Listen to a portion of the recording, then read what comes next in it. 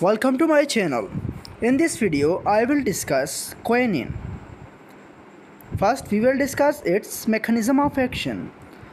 Quinine, like chloroquine, is a weak base and it acts by inhibiting the polymerization of heme to hemozoin.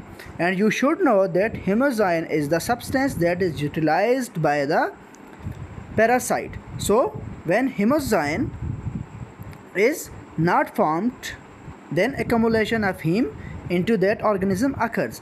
And this free heme or heme quinine complex damages the parasite's membrane and kills it.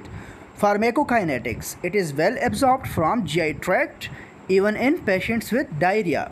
And it is metabolized in liver and excreted in urine like most other drugs. Uses.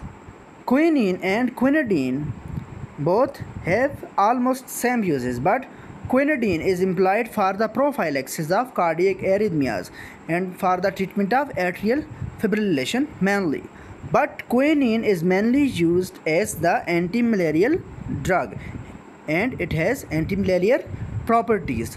It is effective against chloroquine resistant organisms. What are the adverse effects? Adverse effects include cinchonism.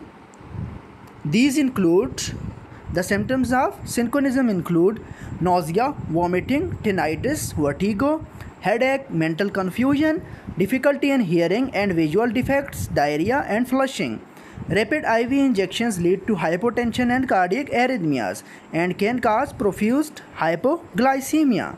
Thank you for watching.